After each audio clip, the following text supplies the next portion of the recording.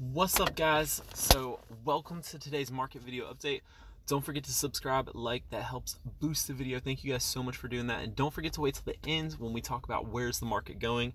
I predicted the stock market crash.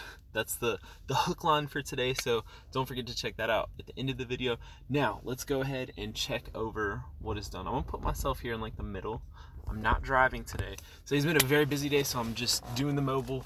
I wanna try and get these out at least once a day. Now, right to the video, even if I have to do mobile. Normally I like to do it on the desktop, better quality. Anyways, here we go, boom. What happened in my account today? I'm so glad you asked. I will show you. Boom. So we got the screenshots here. All right, here. so today I closed ELF for a 4.6% gain. I closed UNG for a 10.3% gain. And you think, oh man, you were trying to close, close those. I was not trying to close those actually, but they had worked against me. Let's go ahead and look at ELF. ELF, this whole entire time. So the vertical white lines is my entry and exit. I wanted to hold to the blue line to take my full profit and we zoom in here, we'll see what happened. Let's go ahead and look at the four hour. Boom. So you can see I entered at the gray line right here, and I closed at the yellow line right there.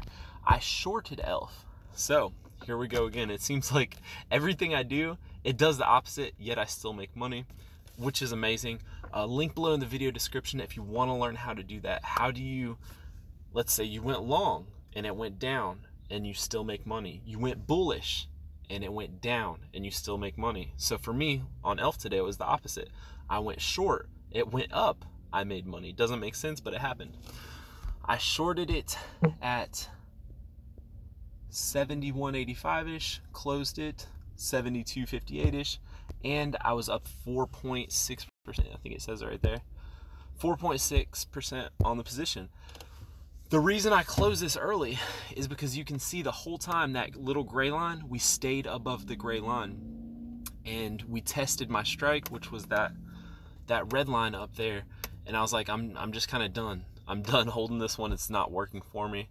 And today, it went up even more. I closed it because we're on the four hour. Let's look at the daily. Boom. Anyways, yeah, it just worked against me. And it looks like I had a decent decent close because I was closed at the gold line and it, it went up more. So that tripped at 9.45. That was a buyback order I had placed and we closed it for 4.6%. Great, beautiful. Next, not over talk it. What was the other one? UNG. UNG, I had kind of a poor exit because it went up even more. This I was long, and this one, let's look at the four hour. I, you can see I entered way back here early and I went bullish. I was long natural gas UNG. I still think this is a good play. I'm just done with it because as you can see, we we tested I'm to remove one of these cuz that'll make it more simple. We tested my strike, we went below my strike. So if we come below my strike, that is a a loss on the position. That position for me will go to zero. So we went below, but we see I still had a lot of time left. I had out to that blue line. I was like, I'm, I'm sick of being in this position. So I went ahead and closed today. So see all that time, long time. I entered at the gray line. I exited at the gray line, literally. So nothing happened. I just held it for days and days. And I was up. There's like, I don't know why I keep having these 10.3% returns, but it was a 10.3% return um, closing this position. So beautiful, completely flat for days, days upon days. And I want to keep this really short. So just reminding myself, I'm talking to myself, keep it short, Jordan. For days, so 23 days flat, up 10%. If you want to learn how to do it, video description link below. Check it out. The course it's releasing. Uh, it's a discount right now. It's about $100 right now. It will be a $400 course. So as the lessons start to pour out by March 5th, should be completed, you can uh, have a lifelong purchase of the course now for about a fourth of the price. So great buy. Anyways, had I held that till the blue line, that was like a 70% trade or something like that. But I'm just like, I'm, I'm not messing with it. I don't like to take losses. Next up, what else we got here for positions? Let's see Google. Google's open. I'm down on Google. I'm in the red. Microsoft ended flat today for me. Wynn, um, Wynn Resorts. I'm up 9.5% and it's still open. So let's look at those. I love. I get to take this. No longer in my positions. Beautiful. I'm putting my watch. Let's go back. Take elf off too. Elf. No longer my positions. Yay. I only have three open positions. Is that no? I don't really want to mess with that. I'm not putting that in the overextended. so, refresh. Be gone. Why are they not gone? I probably didn't hit done. Whatever. Um, Wynn. Let's see. Wynn is working for me. I shorted Wynn. We entered at the white line, and we are we're still down. We went up today by the blue line. I want it to still be under the red line. So that is my short position. As long as we stay under this red line by the blue line, then I will I think my complete position. So when that completes, it will be a 15% return. I'm at 10%. I thought about go ahead and just take it off because that's that's a quick a quick gain. But anyways, I'm leaving it on. I'm like, okay, I'm not really worried about this. This thing's it's going to zero. Look at the PE. That's what I do like about mobiles. We can look at the PE and stuff. PE NA forward PE 144. That's like that's higher than Tesla when Tesla before Tesla had crashed, I believe. So very right now it's not even profitable and they guided to we're going to make a little money and it's this thing is just crazy. So very bearish on Wynn. I think it's a good bear, bearish position, not financial advice. If you use stocks as your trading vehicle, my advice is is hard because you can see I've been wrong. If you've been if you've watched the last week and a half or however long I've been doing this, I'm wrong a lot, but we still make money because we have a massive margin for error. So, if you want to know what I think, I am bearish on this. I have a price target because we're in a rising wedge on Wynn. If I can back out more, it looks like we will probably come up up to here, and then once we get out of the wedge, we will crash. Okay, so my price target is right about where it's at. So around 109, 108, something like that. Now, what else we got? And I want to make sure I'm not going over on the time. Microsoft is open. Google, Microsoft and Google. Let's check on those two real quick. Google is working against me. It's in my needs help section. I entered at the white line. The white vertical was the day I entered. The white horizontal is where I entered. I'm down 1.4% on that position. I wonder how much it is down. It's down 1.94%. My position is down 1.4%. It's like what I'm doing, it's like cheating because it's just insane. It's like I get more money when when I'm wrong and then it's like when it's down, I'm not down as much. It's just it's beautiful. This is why I love the stock market. It took me 26 months to figure this out. And I was a person who I was able to stop working at 30 years old and just do this for like 30 hours a week for two years. So I was able to learn this stuff. So take take what I have and just get it and just go make a million dollars. Okay. Anyways, enough about that. Google, Microsoft. We are flat on Microsoft, I think.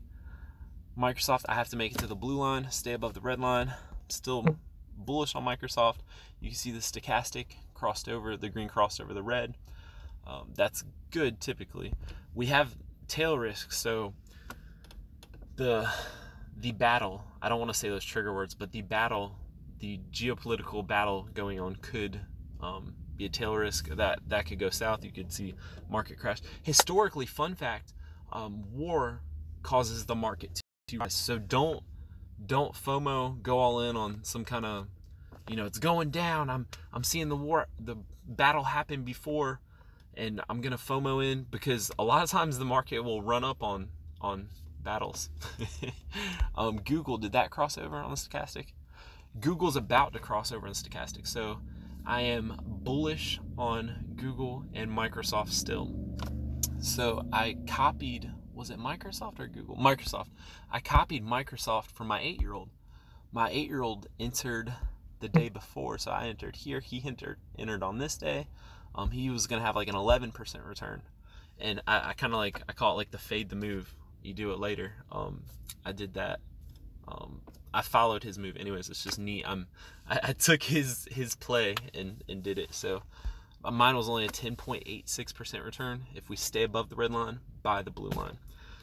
Anyways, that is that all of them. We talked about Google, Microsoft, Wynn. Did we look at Wynn? I think we did. I need to talk about the S&P 500 as well, SPY. Yeah, we talked. Anyways, that's how I feel. UNG bullish. I'm just tired of getting beat up on it, so I took my money and left. Elf, um, yep. So no opinion on Elf. I don't like Elf. I was getting beat up on it. It feels like it could go up. Probably since I exited, it's just gonna go straight down now. So probably just fade what I did and just short it to the ground. You'll probably just make a million dollars. Financial advice: take it. Not really.